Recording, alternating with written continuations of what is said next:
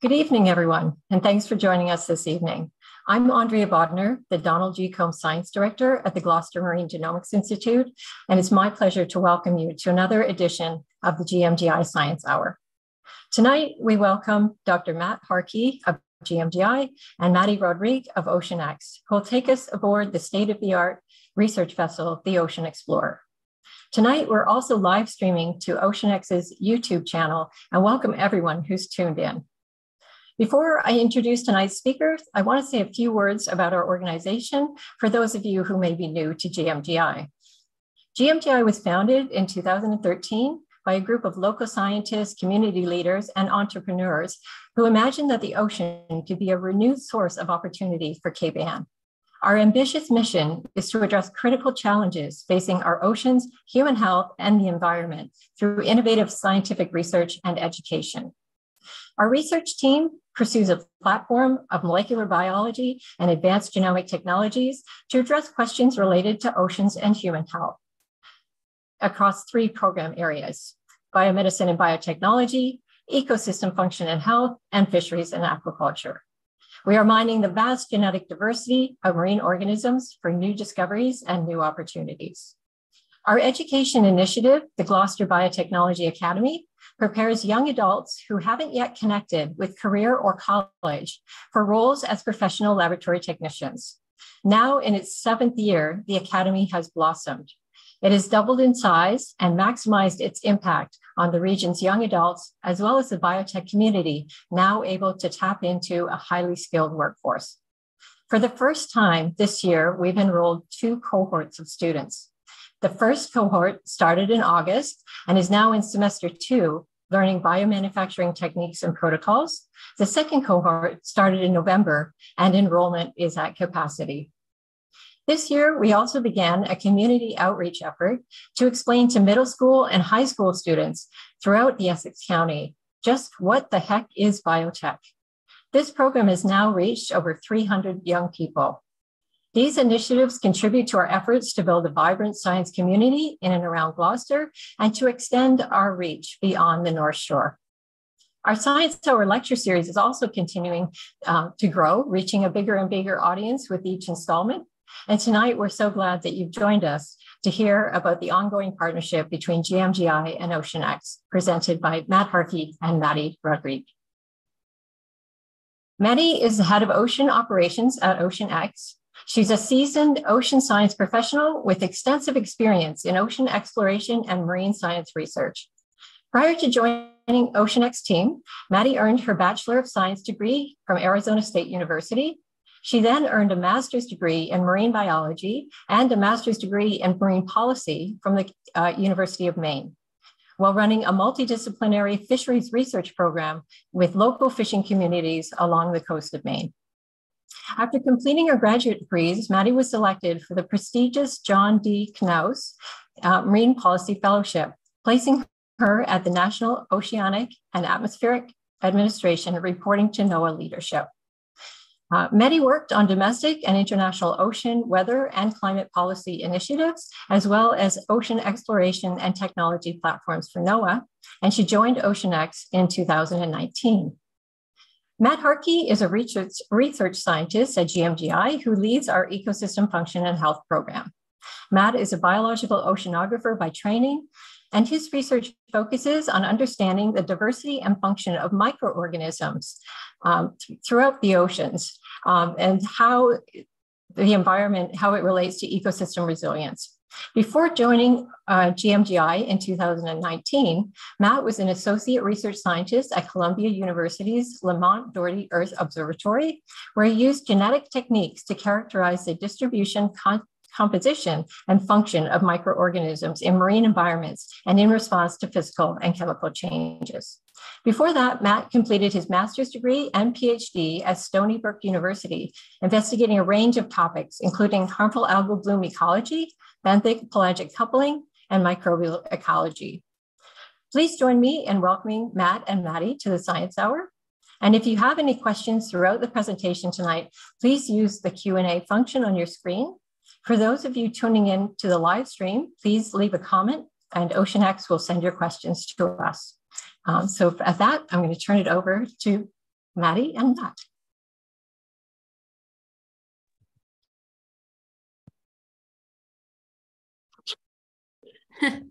Hi, everyone. Thank you so hey, much, everyone. Andrea. Thanks, Matt. Um, and thanks, GMGI, for the amazing opportunity to highlight our partnership um, between OceanX and GMGI.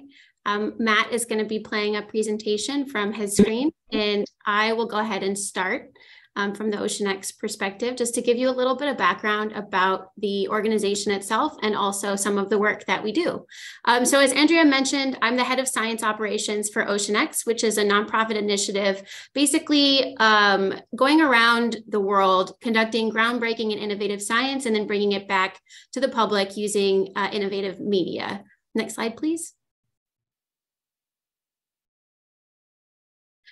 So the mission of OceanX is to explore the world's oceans and bring them back to the world. Doing this, uh, we hope to create a deeply engaged global community of explorers, scientists, storytellers that are all dedicated to educating, inspiring, and protecting the ocean in order to drive forward positive change for our oceans. Next slide, please. Um, and we do this at OceanX through a variety of different pillars or departments that make up our, uh, our organization. So I'm going to talk a lot about the ship, the Ocean Explorer, in the next slide. Um, but I just wanted to add that though the ship is sort of the pivotal um, uh, infrastructure of what we do and how we conduct our work. Um, the science, the media, the partnerships, and the education and outreach initiatives that we conduct are crucial um, to, toward driving positive change and helping people know, care, and act more about the ocean space. Next slide, please. So as I mentioned, uh, the Ocean Explorer is pretty pivotal to what we do at OceanX. Um, this is uh, basically a floating research institution and media production studio. So some of the capabilities that we have on board are quite special in the realm of deep sea ocean exploration and research, but also shallow and coastal ecosystem research aerial megafauna studies, so looking for large animals like sharks, whales, uh, different types of dolphin species, or even conducting terrestrial or coastal ecosystem surveys looking for coral reef health, um, seagrass beds, things like that. Um, but really where we shine is in our deep sea ocean exploration. And we um, have two Triton manned submersibles. Um, so submersibles that can take three people down, um, each to a thousand meters depth. Um, so just over 3,000 feet. And also those submersibles can be equipped with a variety of media and scientific equipment. So we not only have uh, movie grade, uh, cinematography grade cameras that can both look really up close at different organisms and how they're behaving um, at depth, excuse if you can hear the sirens behind me excuse me i'm currently at home in brooklyn. Um, or you can um, add a whole bunch of scientific sampling equipment to allow us to really characterize and explore deep sea ecosystems and then bring samples back up to our vessel to look at further in the laboratory facilities uh, we also have two 6,000 meter uh, deep sea ROVs. And really with the 6,000 meter depth capability, we can reach over 96% of total ocean, uh, the total ocean in terms of depth. And ROV stands for remotely operated vehicle. So essentially what we do is um, it's a giant robot that is about the size of, I would say probably a mid-sized sedan um, that's tethered to our vessel that has a, a cable running from the uh, robot, the remotely operated vehicle or ROV as I'll call it from here on out all the way up to the surface. And through the ROV live feed, we can actually get a really cool um, live stream of about 11 to 12 different cameras at different vantage points on the vehicle, all while collecting samples with a variety of different instrumentation. So biological, geological, and oceanographic samples um, can all be collected. And the really cool thing that makes us unique um, as a program is that we can also operate the submersibles and the ROV at the same time. So for example, we can host a whole bunch of scientists on board and they all want to look at different pieces of the ecosystem. And so using the subs to have some scientists go down in the submersibles and look at different depths that they're interested in and collect different samples that they're interested in, while also utilizing the ROV to then collect even more samples or to look at even more habitat characteristics or unique ecosystems or features of ecosystems, um, really expands our multidisciplinary opportunities, especially as we go to ecosystems that have been very little explored. Um, as I mentioned, we also have a helicopter. We primarily use the helicopter for aerial surveys, looking for large charismatic animals known as megafauna. So recently in the Red Sea, we were looking for whale sharks, different species of, of cetaceans like Risso's dolphins and other type types of whales. Um, and from the helicopter, we also offer a unique vantage point for filming opportunities as well. Um, we have some state of the art labs on board. We have three dry laboratories that are used for imaging and microscopy, uh, genetics and genomic sequencing, which we'll talk about um, in a little bit, um, and also uh, an electronic and technical makerspace where we work on a lot of our instrumentation and um, do some 3D printing to adapt to situations or to make tools or kit that we need in real time in the field, especially working in remote locations. Um, we do have next gen sequencing capabilities on board, but this was not always the case. So you'll hear a lot from Matt about some of the work that we did um, during one of the expeditions we partnered with GMGI on. And I have to say that GMGI has been absolutely instrumental into informing some of our workflows in terms of the sequencing, all the way from sample collection and data acquisition to DNA extraction up to full blown next generation sequencing. Um, on board. So we can really go from exploration to discovery all in the same construct. Um, our centralized data platform essentially keeps track of all of the streams of data that we're acquiring. So we have scientific sensors all the way from the very top of the mast, um, all the way below the waterline to the, the hull of the vessel. We can basically look at an entire ecosystem and collect data live in real time, match it with video observations or in-person uh, observations, scuba diving observations from or dives from the sub um, and the ROV, and basically match all of those data sets to create a holistic picture of an ecosystem that maybe no one's ever been to before or we've never been to before. Um, and so scientists really value that in terms of being able to go to a, a place and really uh, maximize the capability and the capacity in terms of adding data and adding an understanding to the area. Um, and as I mentioned, we have full acoustic mapping capabilities. So uh, Matt will also talk a little bit more about this in terms of um, the expedition that we conducted together. But essentially, that means that we can look at 3D visualization in real time of the shape of the seafloor, so the bathymetry of the seafloor um, using sound. We can also look below the seafloor itself with sound. We can, as I mentioned, look at the seafloor itself and all of the really unique geological characteristics that make it a special ecosystem. Um, or we can, and we can also combine that with water column mapping. So we can look at the physical properties of the water column with our ADCPs. Um, so the speed and direction that the currents are flowing, which as you can imagine is important to everybody doing, uh, anybody doing deep sea work, because you wanna know where the, the expensive thing you're gonna put over the side is gonna go. um, and also um, looking at the biology of the water column using acoustics. So mapping life in the water column, combining all of those things for one complete picture of where we are and what we're studying. Next slide, please.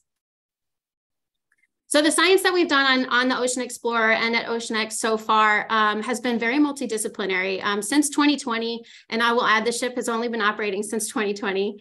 Um, we have conducted expeditions in more than 11 countries. We've spanned four ocean basins, uh, partnered with more than 40 scientific institutions. We've discovered five new species, and that number is um, going to grow as we continue to publish. Um, we've published in 15 scientific journals. Uh, we've mapped more than 90,000 square kilometers and mostly unmapped areas with our acoustic capabilities. And all of those data are designed to be contributed to the public domain. So any scientist anywhere can access those data.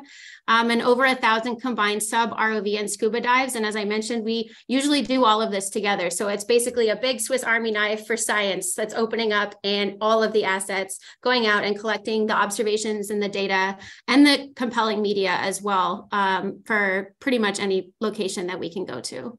Next slide, please.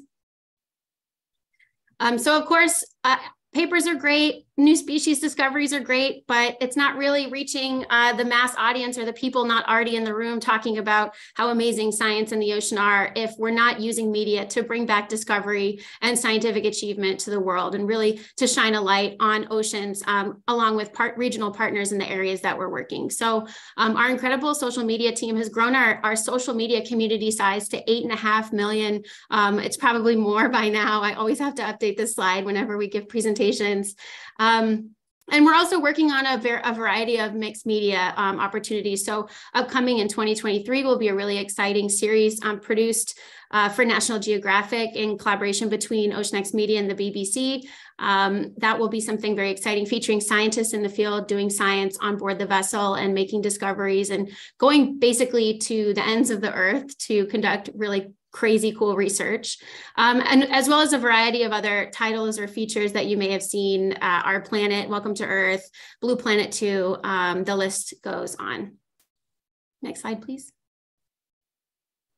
Um, and of course, we can't do anything without our partners. So, as I mentioned, we're very happy and very fortunate to be able to partner with an institution like GMGI, um, who can really uh, help us and collaborate with us as we conduct um, research in very uh, remote locations and at really unique ecosystems, which Matt will talk about in a minute, um, but also reaching audiences that aren't um, already in the room. So not the people that you would run into at the conference or the people that you would see at the, you know, the climate talk or whatever, um, whatever audience you're normally seeing a lot of people really passionate about the ocean in. So uh, reaching the youngest generation. So our partnership with Crayola does just that. Our, our media um, and partnerships team put together an exhibit along with Crayola that is really all uh, OceanX and ocean exploration focused um, so that hopefully we can inspire the youngest generation. I was, I grew up in Arizona, so I was very fortunate to be able to um, help co-design that exhibit and then um, go present to a bunch of of um, you know second and third graders with their parents and let them know that I grew up 10 minutes down the street and and I you know now study the ocean so it's totally possible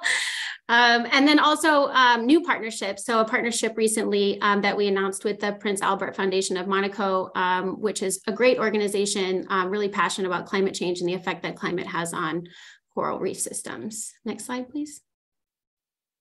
Um, and education is something that we're growing at OceanX, and we'll talk a little bit more about this. But our, our major educational initiatives, um, of course, are, the, are, I think, the most important thing that we do um, to really foster and inspire the next generation of ocean scientists or ocean enthusiasts, even. Um, the OceanX Live or the LiveX classes that we conduct are, are something that we really pioneered this year when we were working in the Red Sea, um, working with host nations and regional partners, regional schools and classrooms um, to conduct live streams about the expedition we're conducting and the science with the scientists that we're working with, the scientists, the science that we're doing in their waters, uh, along with them in support of their uh, regional or collaborative um, interests and to be able to translate that to the local language to work with local educators to be able to reach classrooms as much and as often as possible. And this is something that we now do everywhere we go and with every partnership in every region that we take on. Um, our young explorers program which i'll talk about a little bit more in a minute but really that's our flagship educational experience. Um, it's designed to expand access to ocean exploration um, to also foster a new generation of ocean advocates and to ultimately offer an extremely hands-on and immersive experience for college level students students that um, are pursuing a degree in a related field or have a general enthusiasm or passion about the ocean, but don't quite know what the next step is, um, or maybe want to experience something like working on board or living on board a ship. So we'll, we bring these students on board Ocean Explorer um, and give them an immersive educational experience with us. Um, and, and then, as I mentioned, our educational partnerships with Crayola, we also have a partnership with Lego and Lego Magazine. Um, and then um, something that I think is going to be really exciting, which is the Ocean Experience Museum exhibit um, which will be launched next year. Um, that's a mixed reality exhibit of basically taking uh, experience goers or museum visitors on an expedition with us um, to be totally immersed in Ocean Explorer um, and all the excitement of making discoveries uh, while we're out on a mission. Next slide, please. So the Young Explorers program, this is really, I always say it's the best thing that we do all year long. Um, so we just finished um, our third Young Explorers program. Um, affectionately known as Yeptember because it took place in September. Um, and as I mentioned, it's really our flagship educational experience. We are really passionate about working to expand access to ocean exploration for a new generation of ocean advocates. Um, we can bring up to 15 students on board Ocean Explorer, where they learn everything that we do basically on board, but also um, get unique uh, perspectives and access to oceanographic scientific research, uh, visual media, science communication, and ship operations. So everything that it takes to really make the vessel run from the galley to the interior to the engineering department to pretty much every every facet of the ship. Um, really, we hope that each Young Explorers mission is an opportunity for the student participants um, to consider new pathways or new avenues or learn from uh, the field's foremost educators, researchers um, about what could be next if they would like it to be, um, and build relationships with a diverse group of students from the US and internationally. Next slide, please. So as I mentioned, we've done three Young Explorers programs so far. Our pilot uh, Young Explorers program is uh, what we'll be mostly talking about today in terms of what we did on the expedition. So I won't steal Matt's thunder too much, but just to say that um, this was a group that we brought on board in uh, the Azores, and we sailed um, together up to Bergen, Norway. And during the expedition, um, the students were able to contribute to real-time discoveries and learn a lot of really cool um, new skill sets in terms of, of lab work, DNA DNA extractions, um, and then also ship operations. Uh, the second Young Explorers program we uh, was our first international Young Explorers program. So this was a group of students from the U.S. and also a group of students representing every institution in the, the Kingdom of Jordan. Um, and this was right after an expedition that we conducted in Jordan. That was a full multidisciplinary expedition where we brought on researchers in Jordan and then got to bring on the researchers, students or students from the undergraduate uh, universities in Jordan. And uh, the students got to do a lot of cultural exchange activities. We sailed with them through the Suez Canal, which was very exciting for everyone, but also um, they got to uh, look at the coral reef systems in the Gulf of Aqaba, some for the first time, um, help with ROV dives, assist with CTD casts, um, and ultimately really fully participate in, a, in an experience um, working with the ship teams uh, to conduct exploration and research, as well as um, media projects. The media curriculum involves students uh, creating a group a group project and then having an individual project. The individual project was uh, a short film. Um, so each student contributed a short film, a documentary style film, very creative. Um, and then the groups were able to also work together to produce, shoot, and edit and present um, a film as well. Similarly, the Yeptember group, so the third Young Explorers program, um, had, had a very uh, similar curriculum. This was a group of US students, um, and we sailed with them um, through the Mediterranean Sea up to the Netherlands, where the ship is now. Um, and this was a really unique um, opportunity for us to bring new partners on board, uh, like Red Digital Cinema, which really they really led the science communication and storytelling aspects of the curriculum. Um, GMGI was on board again, as well as the first Young Explorers program, and then the Black in Marine Science CEO, Dr. Tiara Tiara Moore, was on board with us as well to lead some of the environmental DNA and sequencing components of the curriculum. Next slide, please. Um, so essentially, uh, the three segments of, of the curriculum, as I mentioned, are uh, science, media, and vessel operations. So during the science curriculum, it's usually a lecture-based um, series in the morning that we work with the guest faculty that come on board from various partner institutions um, to really develop around what we're going to be doing on the vessel so that the students have the opportunity to ask questions about the environment, about the ocean, that we then will be able to have a hands-on experience with either sample processing or, or data acquisition. Uh, we might, you know, talk about what we would see in a CTD profiler on an ROV dive or have a mapping um, and acoustics seminar and then go map a shipwreck and learn how to do that. So um, it's a very, uh, it's designed to be lecture based, but with always a hands-on um, learning experience right after that.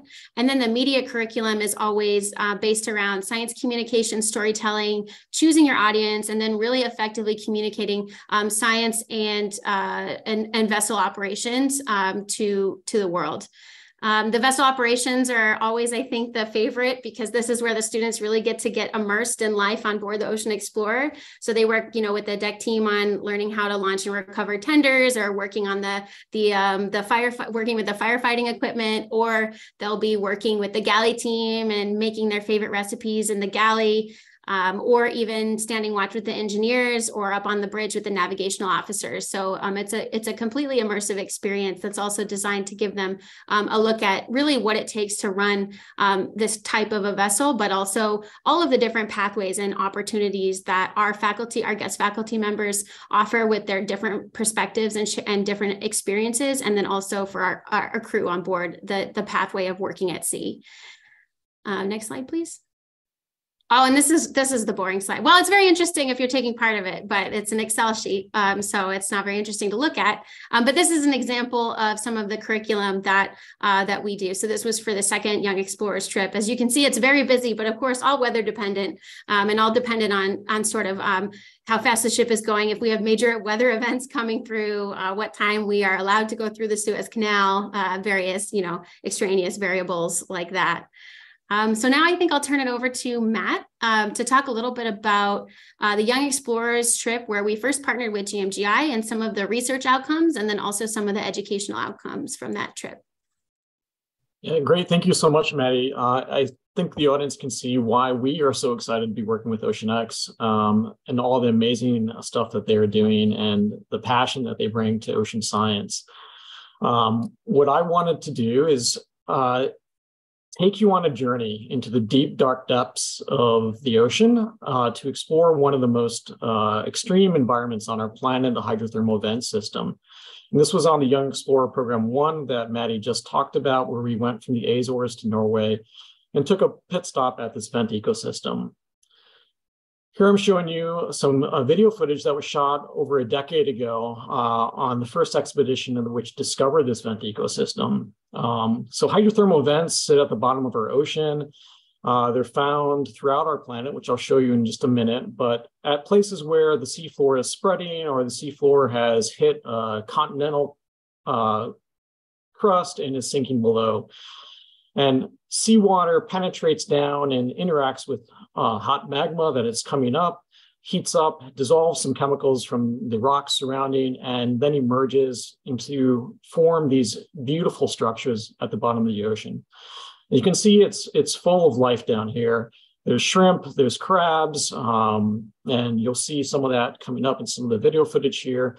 But there's also this black like smoke, which is these chemical uh, constituents that are emerging out of um, the, the uh, structures here. One of the things that GMGI was really interested in is, you know, you can imagine that organisms get swept up in that current, uh, bacteria and archaea, which are forming the base of the food web down here by converting that chemical energy into carbon um, and fueling the rest of these organisms down here are also swept up in these plumes as they rise above the vent ecosystem and drift away. And one of the major questions that scientists are still trying to answer is how are these vent ecosystems connected to each other? Because oftentimes we'll see the same organisms inhabiting one vent ecosystem and then a thousand kilometers away, the same organisms inhabiting that one, yet there's a desert in between them. And so, how do they do this in these deep, dark areas of our ocean under extreme pressure? Um, and as I mentioned, vents are not unique to the Azores. They're found throughout the globe. And here's a map of all the vent ecosystems uh, that we've documented to date. Um, you can see they're, they're typically found in these spreading zones. You know, um, take a highlight here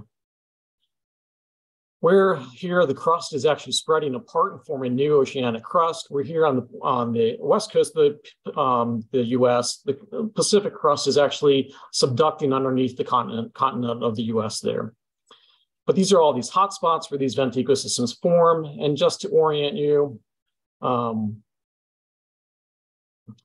the vent ecosystem that we were interested in studying was located here just north of the Azores. Now you can imagine when you want to go out into the middle of the ocean and study something at the bottom of the ocean, you need to do a lot of planning. Um, and this is something that I worked really closely with Mattie and her team on, as well as uh, some of the, my colleagues here at GMGI. And here's a picture of me uh, on the bridge of the Ocean Explorer, uh, working with the captain and crew and Mattie and her team to plan this expedition. And one of the ways that we can detect these um, hydrothermal events is through those plumes that I was just talking about. And as you'll see in this little cartoon that's repeating here, uh, a common way that we do this is we lower a sensor package down that can detect what's called turbidity. So the particles in the water, and the more particles you have, the more turbid that water is. And so we lower it up and down and we drag it behind the ship um, and see if we can detect that plume in the water by looking at the variance in turbidity. And so, because there's been an expedition to this hydrothermal vent, we knew where it was, at least from GPS coordinates, but we didn't know which way the currents were drifting or if that vent system had moved in the decade that uh, it's been in existence. Because uh, some vents can be quite short-lived, but yet some other vents can live uh, can be exist for about a thousand years. And so our plan was to lower the sensor package, which I'll describe here in a bit, um, and move around the known location and see if we could detect that plume, as you can see in this upper left-hand panel. But first, before we even did that, we wanted to map the ecosystem. And this is what Mattie was talking about. Here is an image uh, down to 20 meter resolution, which uh, Mattie, correct me if I'm wrong, but most of the ocean has only been mapped, uh, at least the 20% that has been mapped uh, to about 100 meter resolution. Is that right? Yep. And so this is incredible detail that Ocean X and the Ocean Explorer are able to provide. And you can see some amazing features here. You can see extinct volcanoes, these kind of round spots. You can see areas where there's been high sedimentation, where it's very flat. You can see very deep areas in purple that are down to 3,700 meters and very uh, relatively shallow up at around 1,200 meters. But uh, and remember, we're at the Mid-Atlantic Ridge, so a spreading center at the bottom of the ocean. And just to orient the direction of that spreading, here's two arrows kind of pointing. And this is happening, um, I believe, at about five to 10 centimeters per year. Um, so the Moytirra event is here. This is where we know, and it's located at 2,900 meters below the surface of the ocean, which is about 10,000 feet or about 32 football fields. So pretty deep. Um, and our plan was to take this CTD, which is the sensor package I was talking about, and lower it down just before it, kind of south of that point, that star, and then rotate around and see if we could detect the hydrothermal vent plume. So just to orient to what this device is, and uh, this is one of my favorite uh, devices in oceanography. I, I consider it the workhorse of oceanography. It consists of some bottles, which we can capture water, from different depths of the ocean. And the way these work is um, on either end of that gray bottle, that spray cylinder is a cap. And we open those caps. And then when we're ready to collect the sample, we send a signal down the cable, which triggers a little clip, which uh, releases that those caps to close. And then we can basically securely and safely and sterilely capture a parcel of water from any depth of the water column that we want. There's also a range of sensors attached to this device, such as sensors for uh, measuring dissolved oxygen, temperature, salinity, so how salty the water is, um, fluorescence, so if there's any pigments available to, to detect with light, you can even detect light down there, but also turbidity, which is the sensor that we are most interested in using. And on the Ocean Explorer, it's deployed out of this side chamber here where this door lifts up an arm comes out and it's able to lower down into the ocean. And you can see just forward of that is another arm that's being uh, lowered out or that's been moved out. And that's where the ROV that Mattie was describing uh, gets released as well. So here I'm showing you a clip uh, that OceanX General Sea shared with me of uh, a camera that's attached to the CTD system as it's being deployed into the ocean.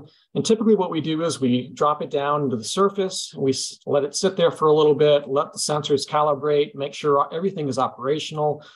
And then we'll call up to the bridge to tell them we're ready to deploy. Uh, and so it's a very careful uh, orchestration between all the crew on the ship to make sure the ship's in the right position, there's no obstacles or anything else before we deploy these very expensive and important devices over the ship.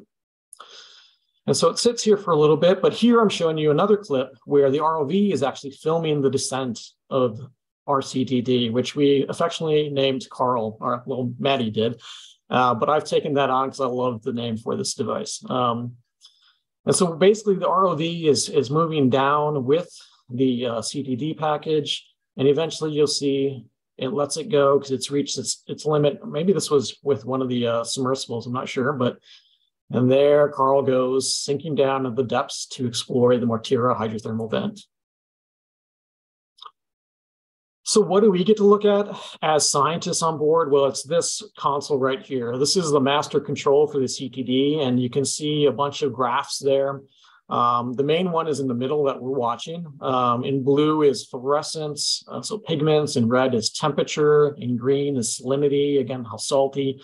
And then there's that yellow squiggly line on the right-hand side that we are really uh, watching because that was the turbidity measure. You can see it's very highly turbid at the, at the, at the surface, but then it gets very low through much of the water column. And we watched this for about two and a half hours because that's how long it takes to descend down to about 2,900 meters in depth. And we were looking for a peak in turbidity um, that was very uh, distinct from uh, what, we, what we had seen at, throughout the rest of the water column. And so there's a lot of waiting. And here's an image of me and some of the students just sitting there staring at that console, waiting for something to happen. And I'm, I'm not going to make you wait two and a half hours to watch this. So I've, I've kind of sped up a graph of this so you can witness what we are looking at. So here we are watching the turbidity, and this is in beam transmission percent. As we're going down, we're past 1,000 meters. Now we're past 1,500 meters, 2,000 meters. We know that it's at about 2,900 meters, but so we should be seeing something soon. Whoa, there it is. What was amazing to me is we saw this peak in turbidity on our very first cast. And this just speaks to the amazing capabilities of OceanX and the Ocean Explorer. Um, and as you can imagine, we were quite excited that we have now discovered this hydrothermal vent. Well, I mean, it was discovered before, but we have detected it on the very first cast. And just to orient to what we are looking at with this turbidity is here's the vent ecosystem. And this is just a cartoon of it. And there's this rising plume of material that rises up above it and drifts off. And so we were right in that plume detecting that, that, um, that material. And here's a clip of. Yeah! Yeah, we got it! We This definitely is got so awesome! Yay! Yay. And they, nothing. They said it couldn't be done. And what I'm not showing you is that I actually did a little dance of, of joy because uh, this was my first hydrothermal vent system, and it was so exciting to actually see it. Um, and the students were really excited as well. So we printed off a copy of, of that signal and it posted it down in the galley for the other crew to see as well. Um, but here I've stitched together all that turbidity data uh, to show you both of the CTD casts that we did. And so to orient you on the left-hand side is depth uh, and, and the x-axis on the bottom is time. And you can see that we're lowering down uh, the CTD and we see high turbidity at the surface, nothing, nothing, nothing. And then here we detect the plume, we bring it back up and we tar- start taking water samples until we use all those bottles up. We bring it back up to the surface empty those water bottles, and then redeploy, go back down, collect more samples, and bring it back up. And all, all done, we, we were able to deploy this twice uh, for this expedition. And this is another image of what that looked like. So each one of these dots here is where we collected water in association with the turbidity measures that we took with the sensor package. So what's really neat about this is we're able to stitch together all these types of data, not only the bathymetry, but the turbidity and, and the positioning of where we're taking samples so that we can really get a nice detailed uh, picture of what's happening down here at the bottom of the ocean. And you'll see for reference, there's a red flag, which is where the hydrothermal vent system was. And that's where we see the highest turbidity, which is something we would expect. So once we bring that CTD package back up and we have to take all that water out. And remember, it took two and a half hours to go back, go down. It takes about two and a half hours to come back up. But we have to very quickly extract that water and bring it into a cool area because down at the bottom of the ocean, it's about four degrees centigrade. Whereas up at the surface, it's about 20. And so we really don't want that water warming up or getting exposed to light because there's no light down at the bottom either. And so here's a clip of how we do that. And what was great about the Ocean um, Explorer and the YEP program is where we can get these students uh, direct hands-on access to learning how to do this and helping with actual research that will get published. Um, so here I'm teaching them how to how to sterilely take the water out of those um, those uh, tubes and put it into sterile containers, which we quickly moved into a cooler uh, to keep them at the, the cold temperatures. Once we collect all that water, we then have to filter it. So we are quite interested in all the organisms that were in the water. And so the best way to do that is filtering. And so you can imagine a kind of a piece of paper that has very tiny pores on it, uh, so small that a bacteria can't slip through, but water can pass through it. And so here's some devices that we use to pump the water and create a vacuum pressure.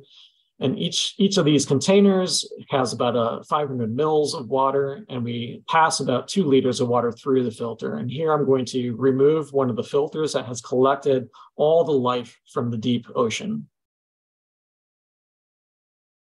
And again, we're, we're trying to do this very carefully and very sterilely so that we don't contaminate those samples because we want to sequence the DNA and the RNA out of these organisms so that we can understand what organisms are there and what they're doing. And so here they're going to zoom in, and this is what I call the burrito roll. Um, I've been told it doesn't look like rolling a burrito, but uh, that's my careful technique for collecting samples. And those samples go directly into a minus 80 freezer to freeze that sample and preserve that DNA signal. Um, and then the next step is we finish all those the rest of those bottles that we sampled uh, and take some samples for nutrient chemistry, uh, and then collect all the other data that the sensor packages were taking for us. But before I get into the results, I'm just going to take a step back here. Uh, the next thing that happens typically on ocean-going vessels is we we dock. Uh, in this case, we dock in Norway. We unload our samples, and then we have to ship them back to our lab.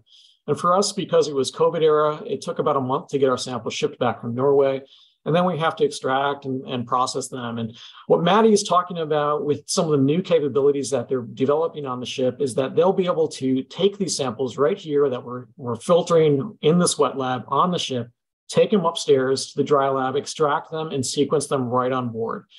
What, what's great about that is it makes it so powerful that you can start to ask questions right away of these samples rather than waiting months to start asking questions.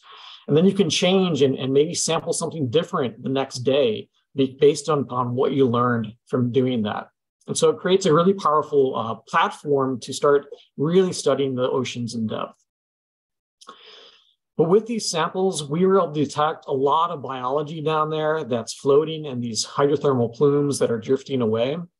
A lot of organisms that we might expect, um, such as the archaea and bacteria and, and plankton, as well as some of the deep sea fauna that are relying on these uh, chemosynthetic bacteria to survive, such as these shrimp, uh, clams, um, and uh, these snails that I showed you earlier.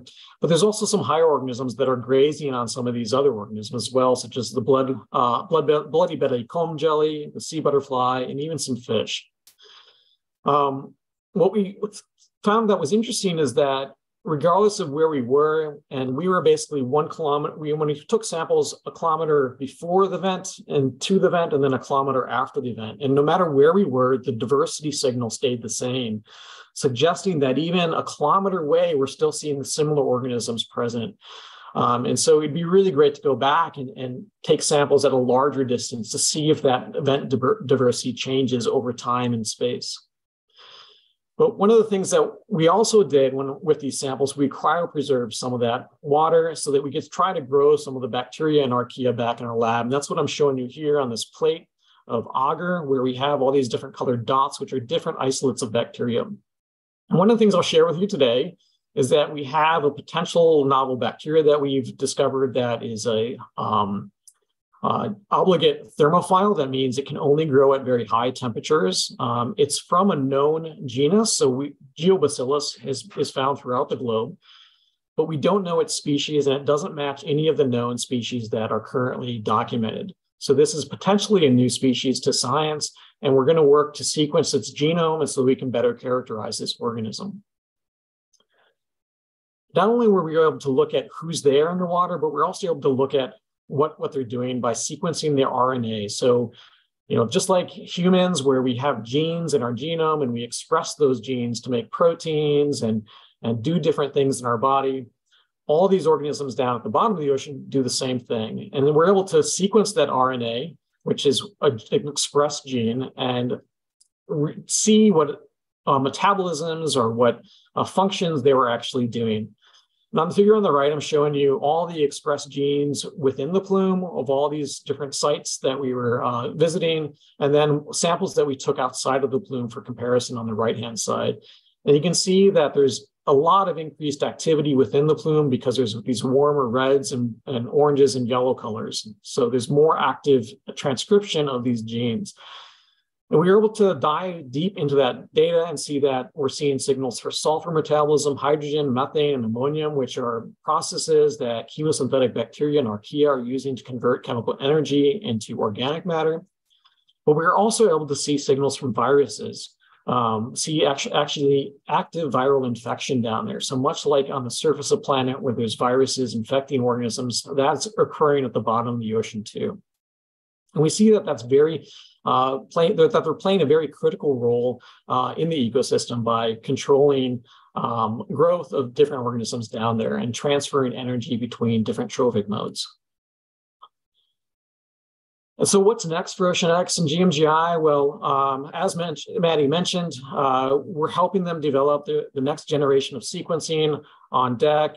And uh, we're hoping to, to continue this partnership into the future and explore new extreme environments like these hydrothermal events and help them bring the ocean back to the world.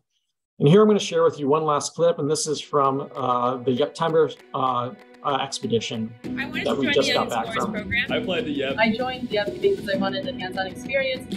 I'm really interested in the marine science. Getting a chance to do underwater photography science communication is one of the most important parts of doing research. I really wanted to learn about all these different applications of science. And also oh. just being with all these really passionate people.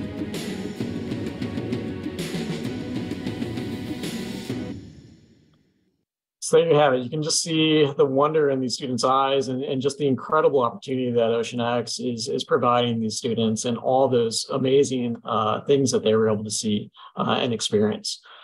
And so with that, I think uh, I'll stop sharing and uh, we'll open up to questions.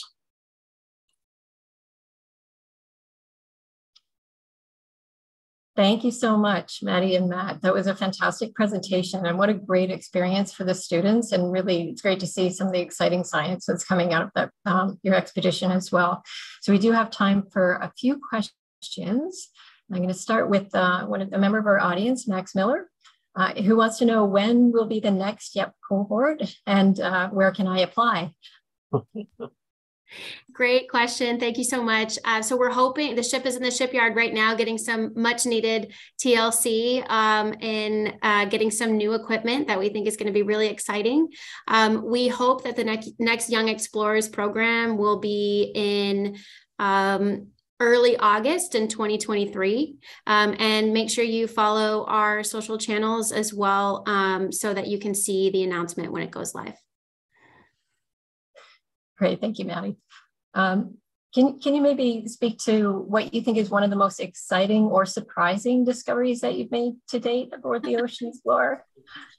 I've yes, and a lot of the things that we have discovered um, are to be announced. I will just say, um, so stay tuned and follow along. Um, but I think one of the craziest things um, that I witnessed, um, which was really one of those moments where you feel like you're on another planet um, looking at an alien or alien life.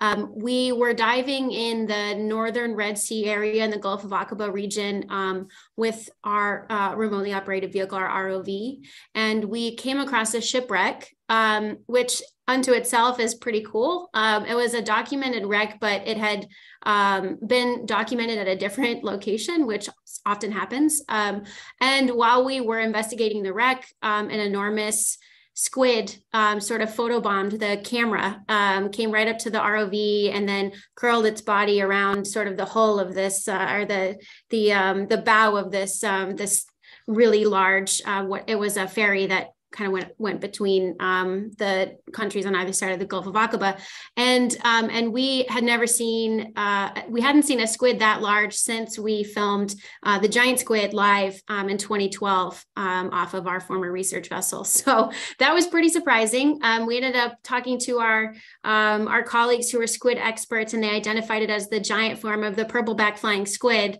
and what's even crazier is we, that was in 2020. We went back to the area in 2022 um, and uh, saw either it or its family members also there. Um, so that was pretty wild seeing that um, massive of a creature uh, 800 meters around a shipwreck. It's amazing. Um, there's a question for uh, from Matt. Sorry, it's just been blocked here. Um, could the reason why there is, so and this is a question from Sam Major, uh, could the reason why there is similar diversity one kilometer away from the vent um, is so similar to the diversity next to the vent be because of water mixing rather than organisms residing in these unique ecosystems? Um, Yes, to some degree, but what we're also seeing is a decrease in some of the chemical signals that are driving the biology down there. And so, one of the hypotheses we had is as you drift farther away from this ecosystem and that chemical energy signal decreases, that'll uh, make a shift in the biodiversity that's feeding off of that and supporting life in that area. And so, we were somewhat surprised to see that uh, the biodiversity remains similar uh, as you drifted away, but distinct from water outside of the plume. Thank you. Um, so this is a question from OceanX YouTube. This is from Alex DeLune on YouTube, and he asks, um, what's the most significant moment for each of you on the boat? So I think yes, that's from the yeah, experience. Matt, why don't you go first? I think for me, it's it's sharing my passion for science and discovery with the students, um, and seeing the gleam in their eyes and the excitement at seeing something new or learning something new, and and being a part of that experience and, and sharing that with them. I, I think that's that's the most amazing thing for me. Yeah, I would have to agree. I think um, we had a moment that was really powerful on uh, the second Young Explorers program um, when we brought um, Jordanian students and uh, US American students on board. And um, I was, uh, we collected a bunch of plankton samples for a student that really wanted to look at them under one of our microscopes um, and visualize them on one of the media monitors. And um, we have different filters which can look at some of, they have different like uh, fluorescence filters over the lights on the microscope. So you can um, you know, light it up orange or green or red and or blue and see kind of the reaction or the the different um, maybe bacteria on the organisms and if they fluoresce. And um, and this it was just such a genuine moment um, the second that i finally those things move around uh, the zooplankton move around in the petri dish as i'm trying to move it around under the microscope. And we finally um, zoomed in on a copepod and he just freaked out and it was so genuine and it was he just was going wow wow this is amazing that's insane. And it was like probably one of the most genuine moments i've had um, on board and just th- that kind of a reaction and being able to share kind of what i do day to day um, but also what our our teams on board do day to day is just so special. That's great thank you. Um, a question from uh, joan brooks and i guess this will go to matt. Have you seen significantly different organisms populating geographically distinct vent systems? Uh, that's a great question. Um, that was one of the things we were interested in doing is could we compare the data that we collected at this vent ecosystem and, and I'll, I'll, this is the only vent ecosystem i have visited and collected data at but could we use the data we collect and compare it to other data sets that other scientists have collected at other vent ecosystems and one of the challenges is, is that um, people tend to do things in different ways. And so it can be very hard to compare directly between sample sets. And that's why there's a lot of effort in the scientific field to standardize collection methods and analysis methods and even sequencing methods so that we can make data more comparable across the globe. Um, but we were able to find a couple uh, data sets um, from the Pacific Ocean uh, that we were comparing back to. Um, and we do see distinctly different uh, biodiversity patterns than we see at those uh, other vents ecosystems. Um, but that could also still be a data analysis issue as there were some weird um, uh, things that we saw in the data that didn't quite make sense with what we expected. So it's something that we have to look back at and, and uh, dive a little bit deeper into. That's great. Uh, a question for, for Mattie, and it may be a little bit too early to answer this question, but can you comment on what some of your students go on to do after they finish the YEP program and maybe just the balance between how many go on into media versus science versus operations?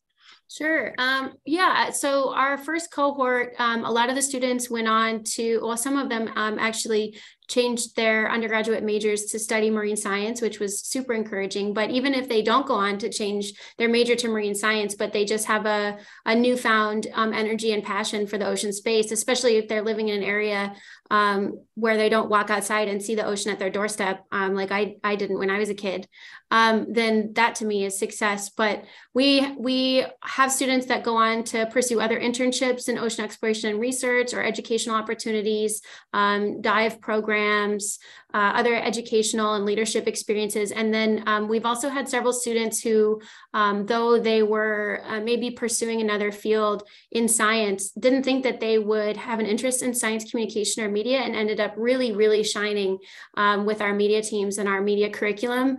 Um, and really were given access to tools like advanced cinematography, um, quality cameras, but also just really basic tools like how to cut and edit iPhone footage and make a compelling TikTok story about something that you care about in the environment or the ocean space. Um, so a lot of the students, I think, um, have definitely expressed that they have a, a, a renewed or newfound or even um, just uh, sort of um, solidified passion and energy for the ocean space. Um, and our, our all three cohorts are definitely going on to do exciting things.